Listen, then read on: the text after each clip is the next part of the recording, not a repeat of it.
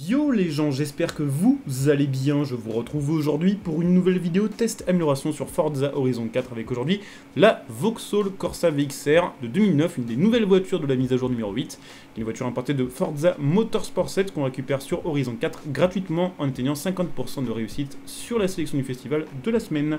Donc c'est plutôt une petite voiture, mais euh, qui a quand même un moteur assez impressionnant. Bon, c'est un 4 cylindres 1.6 qui développe quand même 192 chevaux euh, pour 1200 kg, donc c'est plutôt beaucoup hein, pour une petite voiture comme ça. 0 à 100 se fait en 6 secondes 5 avec cette voiture et euh, vitesse max aux alentours des 230 km/h. Donc c'est plutôt pas ridicule du tout. Donc je vous propose de la tester un petit peu d'origine, puis on la testera améliorée, puis peut-être qu'on fera un swap en fin de vidéo, ça dépendra un petit peu tout simplement de ce qui est dispo comme amélioration sur cette voiture, en sachant que là, euh, d'origine, on est en C600, donc en top classé.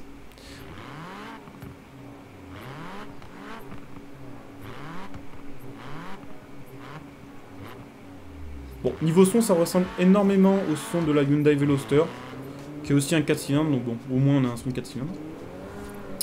Mais euh, ça y ressemble vraiment énormément, hein. je pense qu'ils se sont pas fait chier, ils ont dû le modifier un petit peu et hop.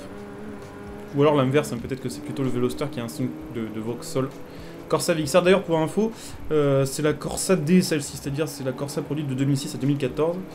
Et euh, c'est la plus grosse version, c'est-à-dire que ni chez Opel ni chez Vauxhall on a eu de plus grosses versions que la VXR. Euh, donc l'OPC chez Opel et la VXR chez Vauxhall.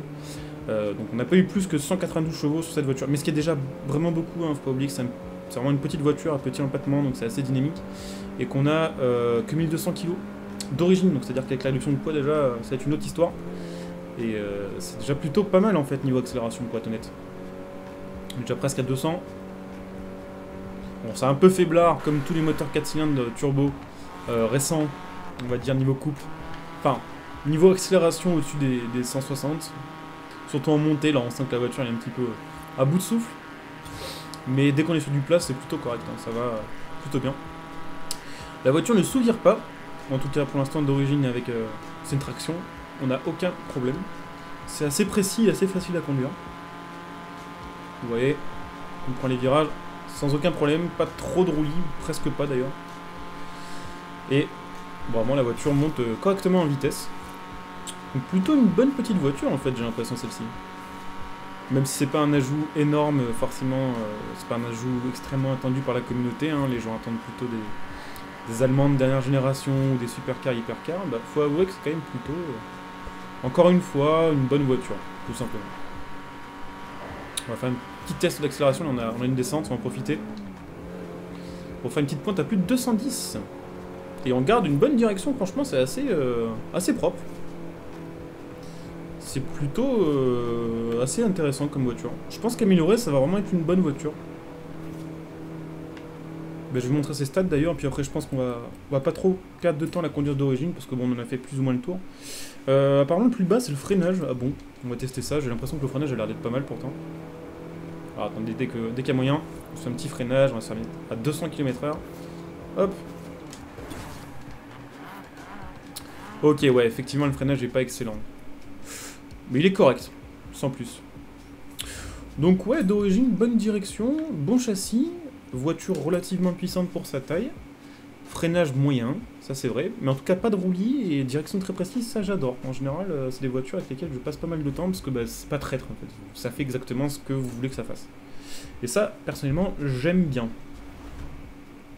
Bah écoutez, on va aller maintenant améliorer, donc pour l'instant je pense sur le moteur d'origine. Je vais regarder s'il y a des swaps de dispo, comme ça on sait direct euh, si je fais la vidéo en trois étapes ou pas. On va regarder ça, je pense qu'il y aura le Turbo Rally.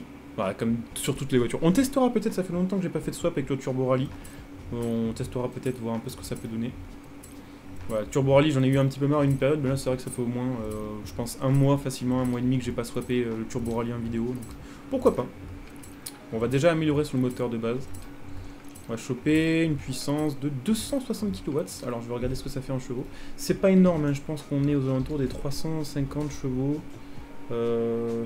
Ouais, 353 chevaux, donc ça va. Par contre, bah, voilà, faut pas oublier que c'est une voiture très petite et très légère, donc à mon avis, ça va être plutôt violent. Vraiment, il faut pas zapper ça. Je pense qu'on va monter en S1 sans problème. 1000 kg, hein, donc 350 chevaux pour 1000 kg. C'est un très bon rapport poids-puissance. C'est euh, à peu près euh, le même rapport poids-puissance qu'une Continental euh, GT Super Sport. Hein.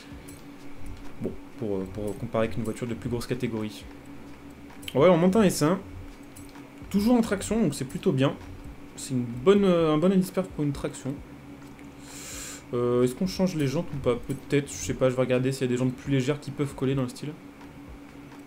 Bah, je pense qu'on va mettre ça en vrai. Genre les premières, enfin, dans les premières, c'est souvent les meilleurs choix. Mais à mon avis, on va mettre dans les premières. Il y avait celle-ci aussi qui me plaisait pas trop mal. Des BBS. Bon, c'est histoire de gratter un petit peu de poids surtout. On va regarder niveau esthétique s'il y a un kit. Oh, il y a un petit kit. Alors je vais le mettre par curiosité pour voir ce que ça donne, euh, vous savez, avec le... tout le kit posé, mais à mon avis on va pas le mettre. En vrai, à part l'avant, le kit est pas mal. Hein. Genre l'arrière et le, bas-côté sont... Enfin le, bas de casse plutôt sont sympas. Par contre, euh, l'avant est vraiment pas terrible. Mais à la limite, la ligne colle bien même avec le...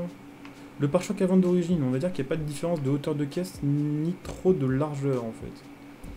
Bon, je sais pas, on peut laisser comme ça. Par contre, je vais remettre l'aileron. J'ai enlevé l'aileron euh, de la Corsa, ça fait bizarre sans l'aileron. On va peut-être bien mettre ça, tiens, pour changer un peu. Ça lui fait une... Voiture un petit peu plus large. Faut voir. en tout cas, maintenant, on est même sur la barre des 1000 kg. Donc c'est plutôt pas dégueu. Donc c'est reparti, petit test avec la voiture améliorée. En... Voilà, sans swapper, évidemment. Bon, évidemment, on va un peu plus borner, on va un peu plus tout virer, parce que là, on a une grosse puissance pour une propu. Euh, pour une traction, pardon, ce qui veut dire que les roues avant doivent gérer la transmission plus la direction. C'est pas le top. Après, faut voir. On a vu, euh, on a vu pire. Je pense qu'on aura vu mieux. on a vu pire. Putain, le turbo est phénoménal. Hein.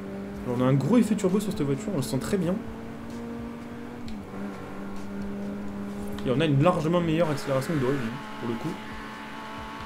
Il y a vraiment une grosse différence à ce niveau-là. Hop, ça passe. Ouais, ça souvient un petit poil maintenant, mais c'est tout simplement qu'on a trop de puissance pour une traction. On aurait, je pense, 70 chevaux de moins. On aurait le truc euh, vraiment peut-être parfait entre accélération et, euh, virage. Hop. Bon, après, elle est capable de tourner, mais euh, bon, faut pas trop la brusquer non plus. On va se faire un petit test de freinage quand même. Hop. Ah, freinage bien meilleur. Bien plus propre et bien plus efficace niveau distance. Et puis on va se faire un test de, VMAX. Avant d'aller swapper le Turbo Rally. On va se faire ça sur l'autoroute. 175 km/h en troisième, c'est pas mal. 220 hein. en quatrième. Hop. 260. C'est pas si mal. On va peut-être même choper une petite 2,90 en vrai, avec la descente là. Par contre, elle a pas mal d'appui bizarrement. Même 300, vous pensez? Putain, la vache, elle envoie. Elle envoie clairement. On chope 300. Avec une putain de Corsa VXR. avec le turbo. Sur un 4 cylindres en 6. C'est pas mal, hein, c'est pas mal. Bon après voilà, c'est pas la, c'est pas la reine de la, du virage pour l'instant. Va falloir la passer en 4 roues motrices avec une puissance comme ça ou en propu. Mais propu, le problème des petites, des petites euh, voitures, c'est que au contraire, ça, survire beaucoup trop. Mais je pense qu'on va la mettre en 4 roues motrices avec euh, éventuellement un différentiel plutôt sur l'avant. Je pense que ça va nous faire une bonne petite voiture de rallye ça. Bon, réponse dans un instant, j'ai envie de dire, après avoir swappé le, moteur. Ce qui va arriver dans 30 secondes. Hop, alors, voyons voir. Amélioration, réglage, amélioration. Donc 4 roues motrices. Et le turbo rallye. Et là du coup, la disperse devrait monter encore un peu. La disperse. Voilà, 432 kW. Et donc 500 kW comme d'habitude, ce qui nous fait 679 euh, chevaux. Enfin, on a 498 kW, mais c'est un peu préparé. Et donc il nous reste évidemment la transmission à rechanger du coup. On a des bonnes stats, hein, franchement. Euh, c'est pas la pire que j'ai vue swapper Turbo Rally. Hein. Bon, c'est pas la meilleure non plus, mais c'est clairement pas la pire. On va s'installer ça. Bon, après, c'est pas parce que vous mettez le Turbo Rally que vous êtes obligé de faire du rallye. Mais il est vrai aussi que ce moteur-là a quand même pas une énorme Vmax et il a beaucoup de couple, donc euh, bon. Après, libre à vous de faire comme vous voulez. Moi, je pense que je vais la régler pour de la course plutôt virage serré. avec une VMAX, ouais. En vrai, elle est capable de faire combien là? Enfin, genre, je regarde un peu. Apparemment, 360 km/h, c'est assez abusé. 365, c'est ouf pour une compacte en fait. genre, les compacts sont légères, donc certes, c'est un bon avantage, mais. Souvent, les compacts sont bridés vraiment en VMAX parce que justement, leur aéro est nul à chier et parce que la répartition des masses est bizarre. Voilà, je vais faire un petit réglage vraiment plutôt orienté 4 euh, motrices assez euh, équilibré. Je vous le partage hein, avec le nom Equinox comme d'hab. Donc mon, pseudo c'est Equinox YT, le nom du réglage c'est Equinox si vous voulez le, trouver. Bon après je garantis pas la réussite du réglage mais je le sauvegarde pour moi de toute façon donc euh, le partager si jamais il y a des gens qui sont intéressés. ça fait plaisir à tout le monde. Alors je vais regarder aussi création et peinture par curiosité. Ok donc on a le bleu. Peut-être la mettre en bleu d'ailleurs. Bleu, noir et gris. Je vais la mettre en bleu. Et puis les jantes, bah, c'est les jantes de bas. Enfin, c'est pas les jantes de bas justement, c'est les jantes, euh, custom. Donc, euh, pas trop de customisation à ce niveau-là. Bon, au moins on a un kit carrosserie sur cette voiture. C'est pas un kit large, mais c'est un kit carrosserie. Et puis bah, du coup, on est reparti pour un petit test de cette voiture. Je pense qu'on va changer de zone. On va aller dans une zone où il y a un petit peu plus de, virages. Ou alors on fait d'abord un test de VMAX. Ouais, on va faire ça. On va faire d'abord un petit test de VMAX. Voir si les 360 km/h c'est du mytho ou pas. Et après, on partira sur un test virage. Euh, vous savez, à côté du festival, il y a une route en S là. C'est pas mal pour tester les voitures. Donc on va voir ça là-bas. Mais d'abord, déjà, place à l'accélération. Allez, let's go. Ah, c'est un peu plus vénère, hein, forcément. 250 km/h. Oh, elle tombe bien maintenant. Elle tombe carrément bien, même. 320, putain, elle est vachement rapide. Truc de ouf. Hop. Ah non, elle est vraiment bien en fait. On chope plus de 360 km. D'accord, tout va bien. Encore ça. Et niveau héros, ça donne quoi? Bon, ok, par contre là, 360, elle est pas très stable. Ouais. Alors, elle a une grosse VMAX, mais par contre, elle est pas forcément capable d'assumer les virages à cette vitesse-là. Par contre, on va tester sur du virage plus serré, comme je disais. Euh, pour ça, on va aller quelque part dans le coin. Voilà, il y a une petite, une petite euh, paire de virages en épingle assez sympa. Enfin, c'est pas vraiment des épingles, mais virages serrés en tout cas. Hop.